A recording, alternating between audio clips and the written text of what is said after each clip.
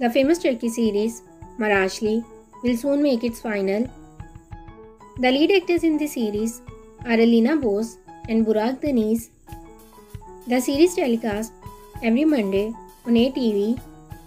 Makers of Marashli decided to end the series if there is no new development.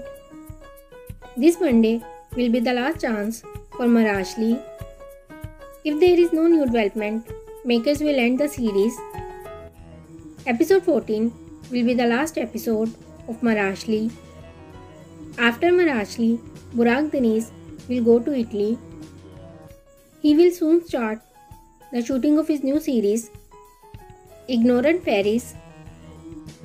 After this series, Burak Deniz has another offer. He will may appear along with Serenay Sarıkaya in his new project, but all his projects is in pending because of Marashli. But makers will soon announce their decision on Marashli. There is a high chance that makers will end the series because of the bad ratings